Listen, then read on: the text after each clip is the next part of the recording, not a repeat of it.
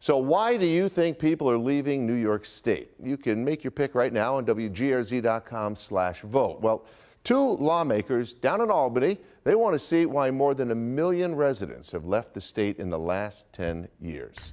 New at 11, 20 Sides Leanne Stuck spoke with one of them to see what their goal is. According to the U.S. Census numbers, 77,000 people left New York State between 2018 and 2019.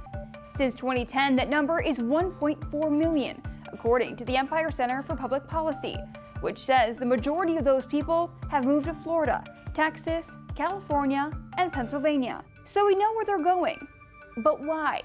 It's a significant concern, uh, and uh, it needs to be talked about at the state capitol. Republican Senator Jim Tedisco and Democrat Assemblyman Angelo Santabarbara are putting together an online questionnaire and plan to hold roundtable meetings around the state to see why. I suspect that we'll hear about things like bail reform. We're going to hear about high taxes, but we may hear about some other issues as well. Governor Cuomo has his idea for the decline. More people are leaving upstate net. Yes, people will make demographic choices about where they want to live. Some of them are climate based. They want to fish, they want the warm weather. God bless them.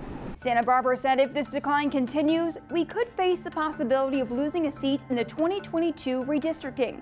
We could lose representation in Washington, D.C. Uh, during a very critical time. Tedisco said this effort is meant to shine a light on the problem that's causing people to leave upstate New York and to find out why the Empire State is fast becoming, quote, the empty state.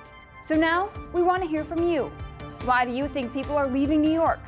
We'll keep this poll going all night at WGRZ.com slash vote for you to join in on the conversation. Leanne Stuck, Channel 2 News.